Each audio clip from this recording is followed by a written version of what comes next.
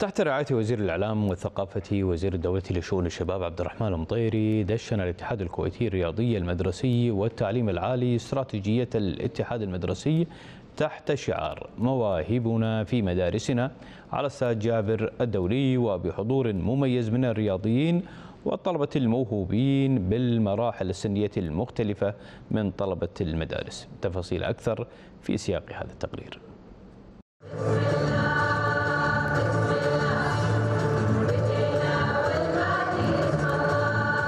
رسميا. أطلق الاتحاد الكويتي الرياضي المدرسي والتعليم العالي استراتيجيته الطموحة للنهوض بالرياضة من بوابة النشاط الرياضي المدرسي. باستراتيجية ستستمر لخمسة أعوام وتحمل عنوان مواهبنا في مدارسنا. الانطلاقة كانت باستاد جابر الدولي وبعرض فني مميز قدمه مستقبل الرياضة الكويتية وبمراحلهم الدراسية المتنوعة. أتشرف اليوم أن أكون بينكم نيابة عن راعي الحفل معالي وزير الإعلام والثقافة والشباب الأخ العزيز عبد الرحمن المطيري. في احتفالية تدشين استراتيجية وأنشطة الاتحاد الكويتي الرياضي المدرسي والتعليم العالي. استراتيجية الاتحاد الرياضي المدرسي والتعليم العالي. ثمرة تعاون مميز بين جهات الدولة المختلفة في مقدمتهم الهيئة العامة للرياضة. الاستراتيجية ستهتم بالموهبة الرياضية وتصقل مهاراتهم عبر مركز اكتشاف الموهوبين وأكاديمية الموهوبين كذلك في مختلف المراحل التعليمية. ومن خلال أنشطة الاتحاد المدرسي بل سيكون هناك تقييم فني في كل ثلاثة أشهر لمنجزات الاستراتيجية الرياضية المدرسية. راح نتلمس نتائج هذه الاستراتيجية خلال السنتين القادمتين إن شاء الله.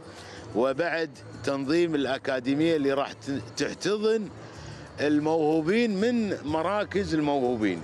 فالأكاديمية هذه إن شاء الله راح تكون انطلاقتها بدءا من السنة القادمة بعد اكتشاف الموهوبين في المحافظات التعليمية الست إن شاء الله. ولله الحمد كان بالنسبة لنا حلم لكن للأمانة اليوم تحقق هذا الحلم بعودة النشاط المدرسي بقوة على الفترتين الفترة الصباحية وأيضا الفترة المسائية لكن بشمولية أكثر.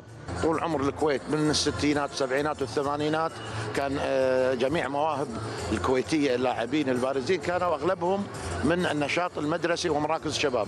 فأنا أعتقد هذه الاستراتيجية ومشكورة الهيئة العامة للشباب والرياضة بدعمهم.